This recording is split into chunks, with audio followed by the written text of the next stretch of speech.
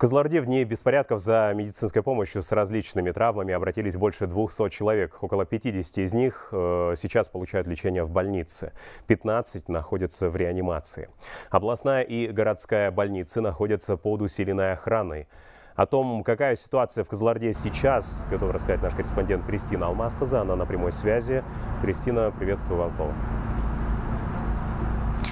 Алмаз, здравствуйте. Минувшей ночью наша съемочная группа вышла в рейд вместе с полицейскими. Конечно, нами были соблюдены все меры безопасности. Напомню, что комендантский час в регионе действует с 23 часов вечера до 7 часов утра. Стражи порядка на тяжелой военной технике «Орлан», «Борыс» патрулируют городские улицы и прилегающие населенные пункты. Также проверяются водные каналы и дачные массивы. По информации комендатуры в областном центре зарегистрировано 9 фактов нарушения режима чрезвычайного положения. По последним сведениям заведено 50 уголовных дел.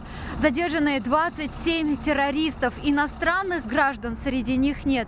Всего в органы внутренних дел были доставлены 225 граждан, действием которых будет дана правовая оценка. Антитеррористическая операция в регионе продолжается.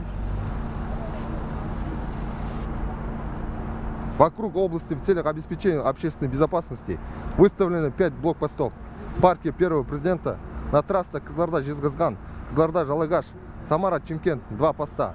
Задействованы сотрудники полиции, военнослужащие спецтехника. В целом по области ситуация стабильная. Просим граждан соблюдать ограничительные меры и общественный порядок. Целом Козларда постепенно возвращается в привычный ритм жизни. Здания городского и областного акиматов, которые пострадали во время беспорядков, уже расчищены. Со вчерашнего дня госучреждения работают в штатном режиме. В городе возобновлено движение общественного транспорта. На этом у меня все. Алмаз. Спасибо. Кристина Алмазкас была с нами на прямой связи из Козларды. Идем дальше.